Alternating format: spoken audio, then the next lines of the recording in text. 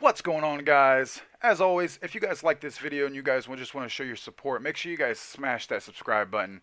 Make sure this bell has some little two little lines coming off of it, making it like it's ring-a-ding-dinging.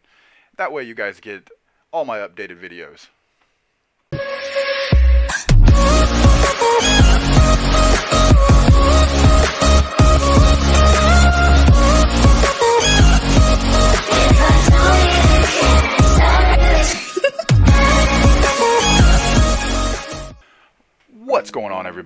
Squishy here. So I've been getting a lot of requests on how to do port forwarding and how to do DMZ on the new Sagemcom routers. Um, I actually have this one right here. This is the router right here, the Sagemcom. Right there. So I have been getting a lot of requests about that, so I decided to go ahead and make a tutorial on it. Um, first I'm going to show you the how to get the Xbox One ports, all the lists, the number of them, and then I'm going to show you actually how to do it. So first, what you're going to do is you're going to go to google.com. Let me actually move this down a little so you can actually see what I'm doing. There we go. So if you just go to google.com, right there, then you're going to go into search, and I've already searched it, but I'll go ahead and type it out, Xbox One ports. You just type that in, hit enter, and then it's actually going to bring up right here this little diagram. And it's the working diagram and it shows you all the ports because right here I've already checked it. And this is on the actual Microsoft website. So now that you have all these ports right here right here right here now you can go on to the next step. So stay tuned. Let me get this uh, router hooked up and I'll be right back Alrighty y'all, now that you have the Xbox One port list, now you need to go back up to your browser and you're going to have to type in the IP address for your router, which for the Sagemcom routers it's 192. Dot, oh you see it up there, 168.1.1. You see that? And you're going to go ahead and hit enter.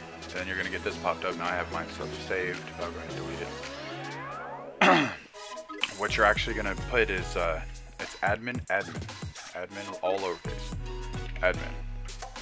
Make sure it's all lowercase. Go ahead and maximize this window now. And then you're to get into it. Alright, you notice I don't have any internet connectivity. That is because I'm not using this router at the moment. I am only logged in so I can show you guys this tutorial.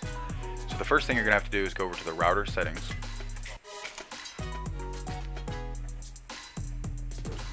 Then you're to click on DHCP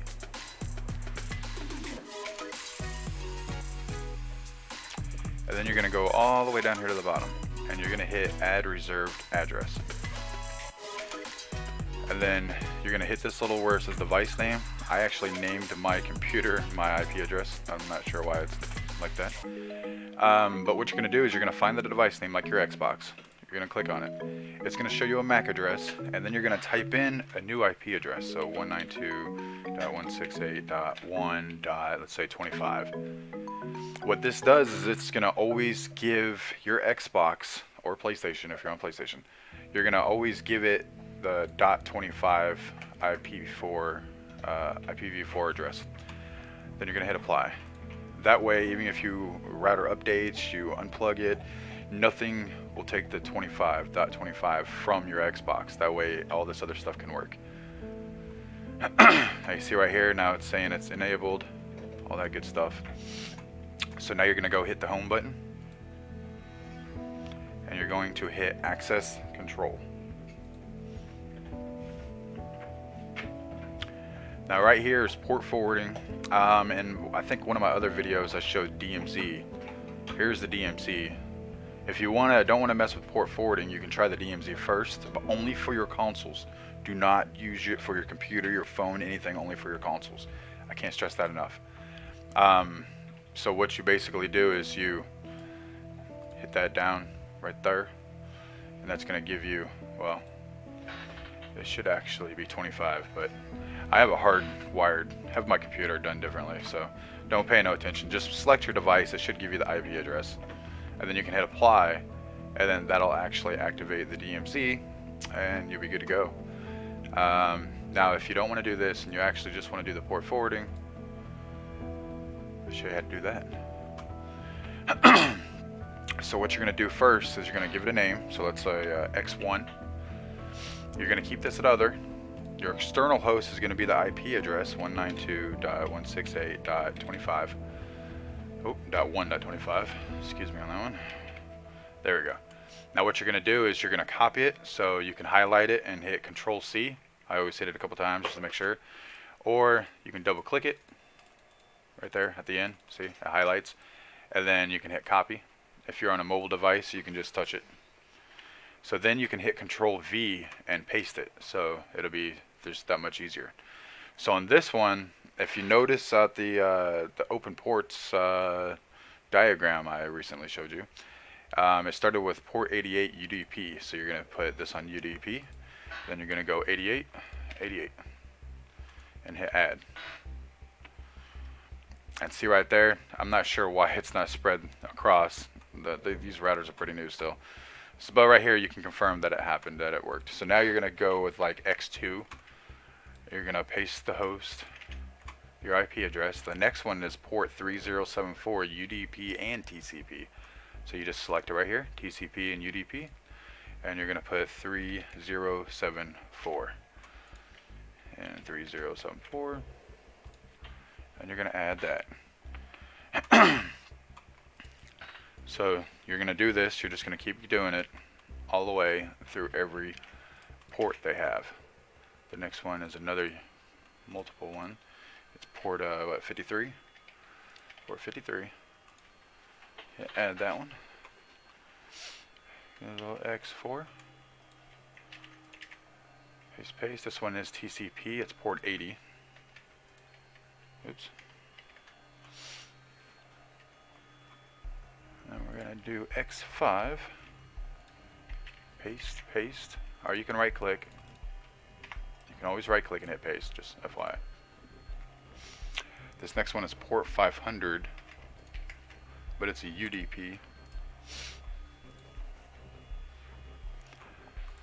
X6, and you can name this anything. You can name it whatever you want. I just do that for a reference. Next, okay, there were all the rest are UDPs. So then we got 3544, 3544, 3544. We're going to do X7. Oops. X. Get an X, please? Thank you. And it's going to be UDP. It's going to be 4500. 4500 go hit add on that one. now as I scroll down, you can see, and you can do a check mark, check off too. See, port 88, 3074, 53, uh, 80, 500, 3544, and 4500, 4500. And then you can hit apply just to make sure everything is good if you want to. If you want to. Um, now, just remember, if you're using port forward, do not use the DMZ because it'll cancel out your port forward.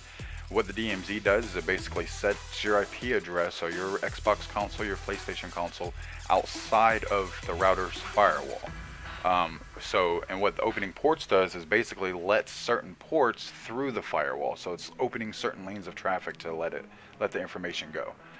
Um, so you can do, you can try either one, DMZ or port forwarding if your NAT type is still strict um, or moderate, and this is for Xbox people, PlayStation people, I'm sorry, but it's not easy to get y'all stuff off of Type 2. Um, but for the Xbox people, if it's not open, another thing you could do is go to your Xbox and actually put it in the Google DNS and everything like that. Um, and then you will definitely, you should be able to get uh, open. And if you, if that excites you and you want to try that, if this doesn't work, just leave a comment down below and I'll make another tutorial on how to go through your Xbox and actually change the settings over to Google services so you don't have to run through um, your cable companies. And that's it though. Oh, my picture was bouncing. Picture was bouncing. But yeah, so that's it. That's opening ports. It's just that easy. I know on these routers, they kind of finagle everything around. They kind of make everything weird, but it's all right. Yeah, you can see right here what my port number is. My internal IP address, uh, not port number. But uh, yeah, so if you have any questions, leave them down that way. Make sure you guys hit that subscribe button. Uh, make sure you guys hit that bell for reminders when I upload a new video. I do a lot of gaming videos. Y'all can check out my channel. And uh, on that, without further ado, I'm out of here. Thanks for watching.